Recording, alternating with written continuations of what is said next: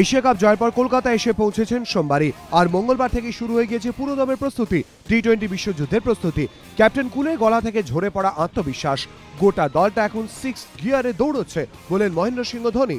I think we are running on the sixth gear. You know, uh, I know technology has gone into eight years, but uh, I feel uh, how we are playing cricket and the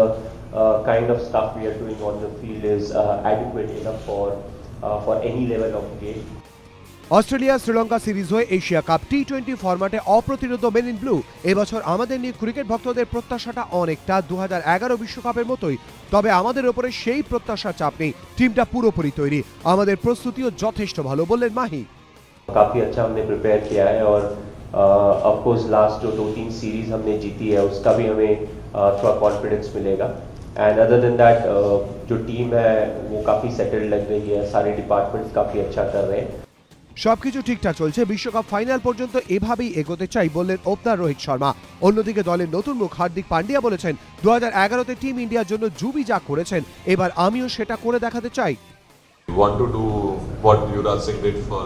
India in 2011. So obviously I want to contribute in the batting and bowling both ways and obviously fielding is something which you uh, as a cricketer you always want to contribute. So definitely I want to do well for India in batting and bowling.